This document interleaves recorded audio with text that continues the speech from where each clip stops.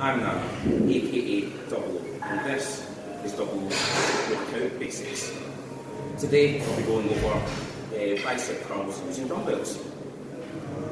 Firstly, I will show you uh, the bad technique that I usually see in the gyms doing this exercise, usually performed by what I like to call ego lifters because they're using a weight too heavy for them for this exercise.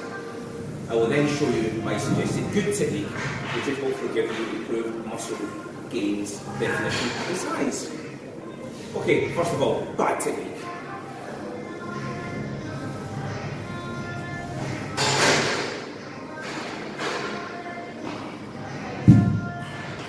Good technique.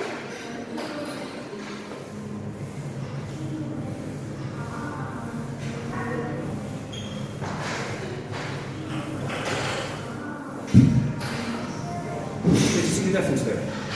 With the good technique, I used a full range of motion there, no swinging at all.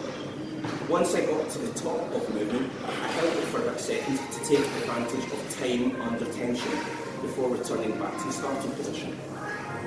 By using time under tension and a full range of motion, it means your muscles are engaged at each stage of the exercise, giving you better muscle growth. Try it for four sets of 10 repetitions and let me know make it on in the comment section below.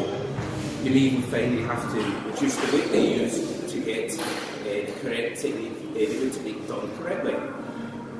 That is it for this edition of Workout Basics. Uh, you can follow me uh, on Instagram at the Double O Project, all one word, where you'll be able to get a 10% discount code, which will uh, mean that you can get 10% off VXS gym wear like I'm wearing right now. They also do ladies wear and it's a fantastic brand, so check it out. Always remember, don't be an ego lifter. It's not what you lift, but how you lift it that gets the results.